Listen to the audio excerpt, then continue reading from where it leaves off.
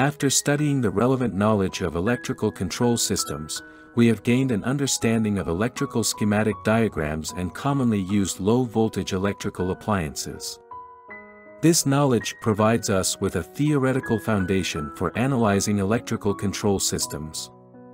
Now, let's return to the study of the fundamental circuit of three-phase asynchronous motors and delve into the jogging control circuit for three-phase asynchronous motors. Let's review our knowledge of electric motors. An electric motor is a device that converts electrical energy into mechanical energy. It operates by energized coils to generate a rotating magnetic field, which in turn interacts with the rotor to create an electromagnetic torque, leading to rotational motion. In the realm of electric power systems, most electric motors are AC motors, which can either be synchronous motors or asynchronous motors. Among them, three-phase asynchronous motors are known for their simple structure, cost-effectiveness, durability, reliable operation, and easy maintenance. They have found widespread use in various industries and enterprises. These motors are composed of a stator, rotor, and external components. The stator is composed of a stator core, stator winding, and frame. On the other hand, the rotor primarily consists of a rotor core, rotor winding, and shaft. The direction of the movement of an energized conductor in a magnetic field is related to the direction of the current and the magnetic field lines, that is, the direction of the magnetic field. The working principle of an electric motor involves the interaction between a magnetic field and the force on an electric current, resulting in the rotation of the motor. We typically describe clockwise rotation as the forward motion of an electric motor. Based on our previous learning, when AC current is applied to the internal windings of the motor, there exists a constant phase difference between them. The motor comprises three sets of stator windings labeled UVW, which, when energized by symmetric three-phase currents following the UVW sequence, combine to generate a clockwise rotating magnetic field. In this scenario, the rotor within the motor is in a state of relative movement with the rotating magnetic field. This results in the rotor cutting through magnetic field lines, inducing current in the rotor, and consequently creating electromagnetic torque, causing the rotor to rotate. This leads to the forward rotation of the motor. You can refer to the image on the left for a review. After revisiting the fundamentals of electric motors, let's begin by understanding the concept of jogging control.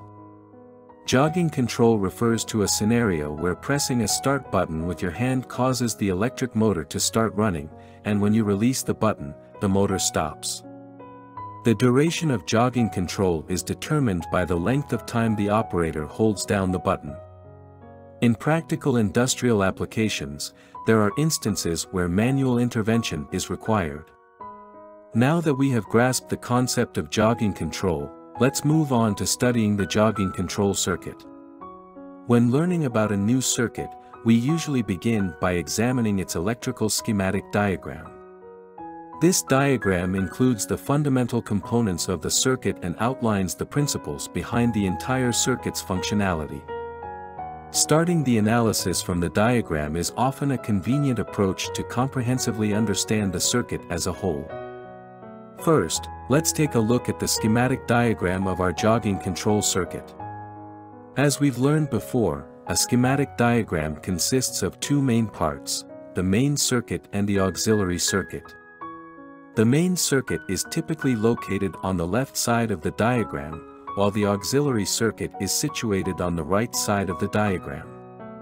The main circuit encompasses the part of the circuit through which the motor's current flows.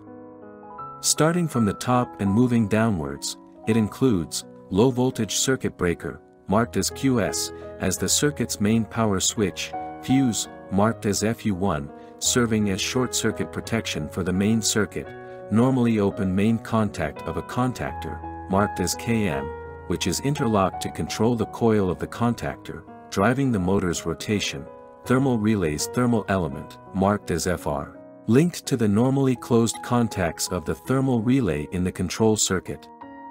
Providing overload protection, the target motor, marked as M, that needs to be driven. On the other hand, the auxiliary circuit primarily focuses on controlling the motor. Generally, in motor control, the auxiliary circuit contains only the control lines. The auxiliary circuit can also be referred to as the motor's control circuit.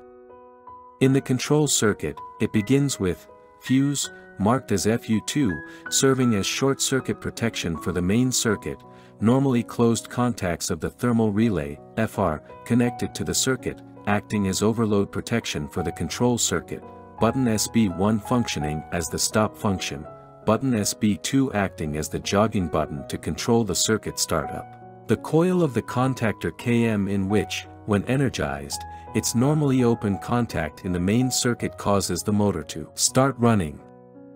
After comprehending the schematic diagram of the jogging control circuit and its components, the next step is to assess the various states of the circuit during its operation. Clearly, in a jogging control circuit, aside from the occurrence of faults, there are only two primary states, motor stop and motor start. However, in more complex circuits, there might be other states that require our analysis. Let's begin our analysis by considering the motor startup state in the jogging control circuit. The initiation of the electric motor startup is closely linked to the jogging button. 1. When the normally open contacts of the low-voltage circuit breaker QS are closed, power sources L1, L2, and L3 are connected, resulting in the circuit being powered up.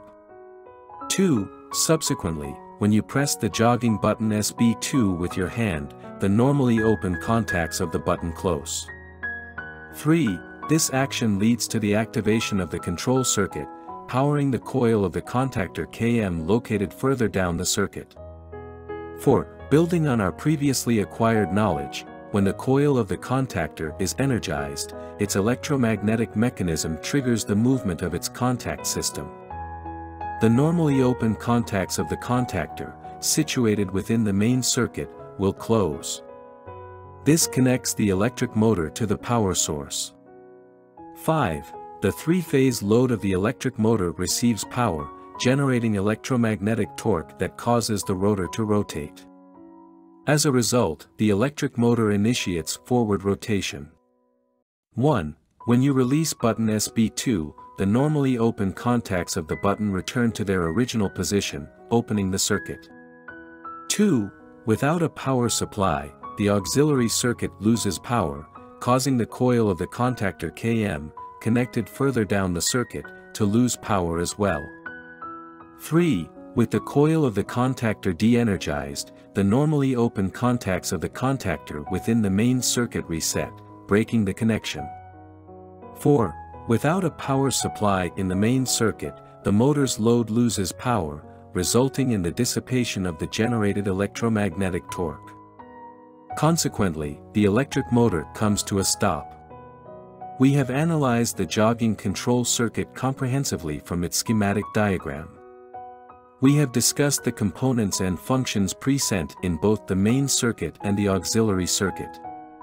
We have also examined the circuit's operation from the moment of pressing the jogging button to initiate action, until releasing the button for a stop of the circuit.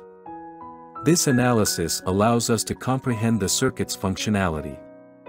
The jogging circuit serves as a fundamental building block in our study of three-phase asynchronous motor control circuits. Moving forward, let's delve into another type of control circuit known as the continuous duty control circuit to identify the differences and nuances between the two. That concludes this lesson. Thank you, everyone.